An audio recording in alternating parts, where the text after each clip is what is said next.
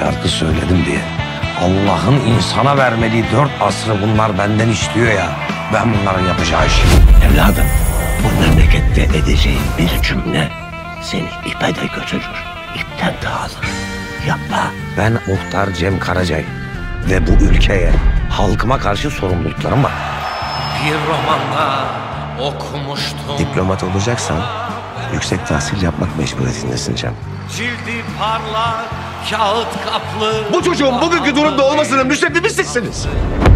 Baba ne zaman geleceksin? Durdu zaman Bak sen hiç canını sıkma. Biz bunun da üstesinden geliriz seninle. Öylece baka kaldım Gözümü ayırmadan En iyisi bizimkilerin de haberi olmadan bu işi daha fazla uzatmamak. Boşanmak istiyorum Cem. İşçisiz sen işçi kal Ki Babam evde mi? Evde. Siz kabul etmeseniz de. Ben bu memlekete ses olacağım. Tebrik ederim Cem Bey. Kendinize çok mühim bir gaye belirlemişsiniz. Bak bir kez daha dinle. Bir şans daha ver. Çok güzel olacak.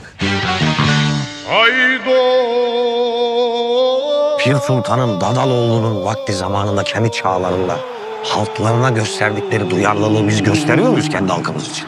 Canım hey Olmaz. Olmaz. Olmaz. Girmem ben bunu plana. Sen bizim başımızı belaya mı sokacaksın ya? Bir şarkı söyledik diye niye başımız belaya girsin? Bütün memlekete de yuvalatsanız ben vazgeçmem yolumdan. Bak Orası benim vatanım. Orası benim toprağım